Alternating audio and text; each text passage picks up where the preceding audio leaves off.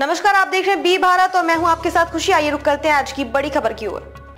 मणिपुर में नहीं, थम रही हिंसा। आर्मी हेलीकॉप्टर की हुई तैनाती, पुलिस की हत्या, लूटने की कोशिश नाकाम।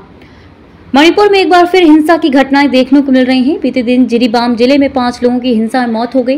वहीं एक व्यक्ति की सोते समय हत्या कर दी गई। इस बीच पुलिस ने बताया कि कुछ बदमाशों ने इम्फाल पूर्वी ज़िले में मणिपुर राइफल्स की दो बटालियनों के शस्त्रागार से हथियार लूटने की कोशिश की, लेकिन सुरक्षा बलों ने आँसू गैस की गोली और खाली राउंड फायर करके भीड़ को तितर बितर कर दिया।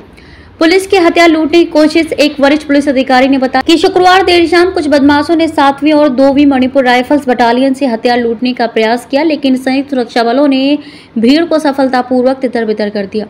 हिंसा में दो पुलिसकर्मी घायल, बाद में जब सुरक्षा दल खाबे इसोई में स्थापित सातवीं बटालियन से लौट रहा था तो बदमाशों ने उन पर गोलीबारी की, जिसमें दो पुलिसकर्मी घायल हो गए। इसमें कहा गया है कि वरिष्ठ अधिकारी तुरंत घटनास्थल पर पहुँचे और स्थिति को नियंत्रण में लाए। पुलिस एक बार फिर से सभी से अपील कर रही है कि वे कानून को अपने हाथ में ना लें। इस तरह के दुस्साहस में लिप्त बदमाशों से सख्ती से निपटा जाएगा और उन्हें गंभीर कानूनी परिणाम भुगतने होंगे।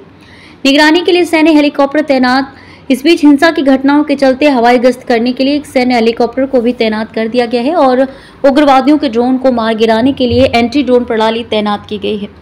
लूटे गए हथियार और गोला बारूद बरामद। आपको बता दें कि पिछले साल मई में मणिपुर में जाती हिंसा भड़कने के बाद हिंसक भीड़ ने मणिपुर पुलिस के शस्त्रागार और जिलों में अन्य सुरक्षा चौकियों से चार हज़ार से अधिक अत्याधुनिक हथियार और लाखों गोला बारूद लूट लिए थे। सुरक्षा बलों ने बाद में बड़ी संख्या में लूटे गए हथियार और गोला बारूद बरामद किए थे। अब तक के लिए बस इतना ही। फिर होगी आपसे मुलाकात। ऐसी एक और बड़ी खबर के साथ। तब तक के लिए नमस्कार और देखते रहिए बी भारत। ऐसे लेटेस्ट अपडेट्स के लिए हमारे चैनल बी भारत को सब्सक्राइब करें और तुरंत नोटिफिकेशन पाने के लिए बेल आइकन प्रेस करना ना भूलें। यदि आप हमें फेसबुक के माध्यम से देख रहे हैं तो हमारे पेज को फॉलो ज़रूर करें। धन्यवाद।